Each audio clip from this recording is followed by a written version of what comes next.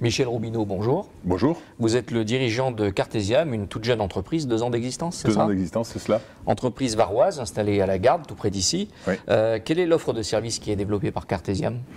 Alors, Cartesiam est installé, à son siège à la garde, est installé au sein de Toulon-Var Technologies. Euh, nous développons des, des capteurs intelligents, donc qui sont des analyseurs, qui permettent aux entreprises de faire de la maintenance prédictive. Et nous travaillons plus particulièrement en edge computing, c'est-à-dire que nos analyseurs traitent tout au plus près de la machine. Les informations ne sont pas envoyées dans le cloud.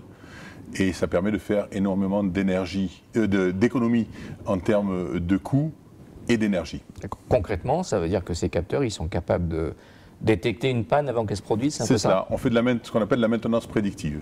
Donc euh, les capteurs analysent comment fonctionne la, la machine, ils, en- ils, euh, analysent cette empreinte vibratoire, et lorsque la machine commence à, à dévier de manière sérieuse, on va dire, ils envoient une alerte en disant venez voir, il y a quelque chose qui se passe au niveau de l'injecteur, au niveau de, de l'arbre ou au niveau de... Ils n'empêcheront pas forcément la panne, mais en tout cas, ils éviteront qu'on ait à changer la pièce dans- en catastrophe. et- Voilà, ils évitent le, le changement en mode panique et si le- la personne euh, vient contrôler la machine à ce moment-là, elle aura tout le temps de remettre la machine en état avant qu'elle ne casse et là il y a des gains de productivité qui sont très importants. Quelle est le- la clientèle pour ce type de produits? Ce sont des industriels Alors- locaux avant tout ou c'est que des gros groupes? Alors euh, on a la chance de travailler actuellement avec euh, énormément de gros groupes euh, du style euh, EDF. euh, EDF on partage leur stand d'ailleurs à Industria, euh, Veolia, Bouygues, euh, on travaille, on est en contact avec la SNCF, euh, enfin tout- toutes les entreprises du CAC 40 sont nos, sont nos clients et actuellement nous développons des proof of concept avec ces, ces gens-là et on est en train de mettre nos capteurs et nos analyseurs sur de très très grosses installations. Une belle clientèle pour une toute jeune entreprise. Voilà. Une chance. Oui, oui. Vous disiez que vous étiez présent aujourd'hui à Industria 2017, qui est ici à Cannes-sur-Mer, euh, la journée, le grand rassemblement de l'industrie azuréenne au sens large. Cette vitrine, pour vous, c'est un rendez-vous, euh, c'est une première. C'est un rendez-vous qui est porteur. Vous avez noué beaucoup de contacts aujourd'hui? Alors c'est une première pour nous, puisqu'on est jeune, on a deux ans, hein, euh, que les deux premières années, on a beaucoup travaillé pour développer les deux solutions qu'on propose.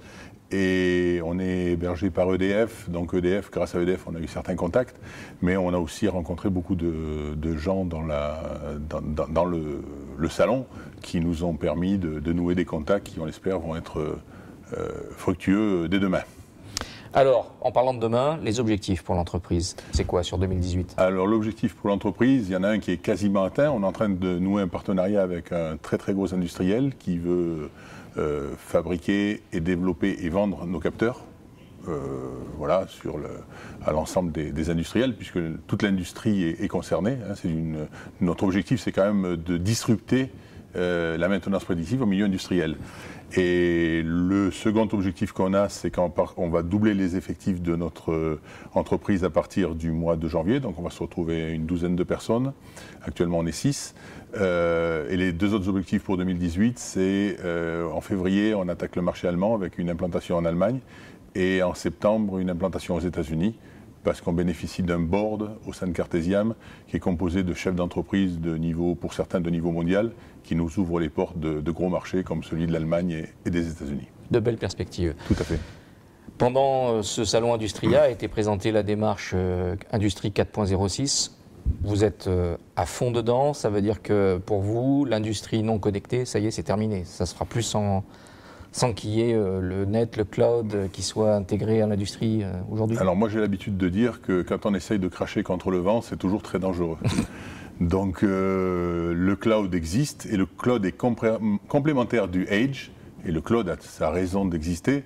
Par contre, la solution que nous proposons, nous, de travailler en Edge Computing, et il y a des patrons de grandes entreprises qui en ont parlé encore très récemment, de niveau mondial, et je pense que c'est complémentaire. Il y a certaines solutions qui passeront par le cloud, mais euh, quand on sait qu'il y a 50 milliards d'objets qui vont être connectés en 2020, tout ne pourra pas passer par le cloud parce que, comme je dis toujours, euh, il y a quelques ours de la banquise qui vont mourir à cause de ça, parce qu'on va consommer énormément d'énergie. Il faut aller vers des économies d'énergie et les solutions que nous proposons vont dans ce sens-là. Donc le- les solutions à edge computing vont se développer aux côtés du cloud. Par contre, ce qui n'est pas connecté, euh, dans quelques années va disparaître. Je pense que la vague de l'intelligence artificielle arrive un peu comme Internet. Quand c'est arrivé au début, tout le monde a dit c'est pas pour nous. Aujourd'hui, on ne peut pas s'en passer. Je pense que l'IA, euh, ça sera pareil demain. Et on va passer d'un monde mobile à un monde IA, comme le disait le patron de Google il y a, il y a quelques semaines, enfin quelques mois. Merci beaucoup, Michel Robineau. De rien, je vous remercie de votre invitation.